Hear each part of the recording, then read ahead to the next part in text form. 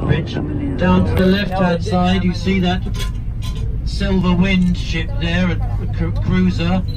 The bridge opened for that ship to get in. Next to the grey battleship moored in the Thames there, that is HMS Belfast, which took part in the D-Day landing 75 years ago, now a floating museum. Here we come to the ridge. Right now, we're across, there is the split, there is the gap of the river. We've just tipped over onto the other side. If you were able to look up, you'd see that there was a glass floor on the walkway high above us of the bridge. A bit scary if you were to go up, but quite thrilling at the same time. And now the Tower of London down on the left-hand side. Here we are going. Here we have arrived. Traitor's Gate just down. You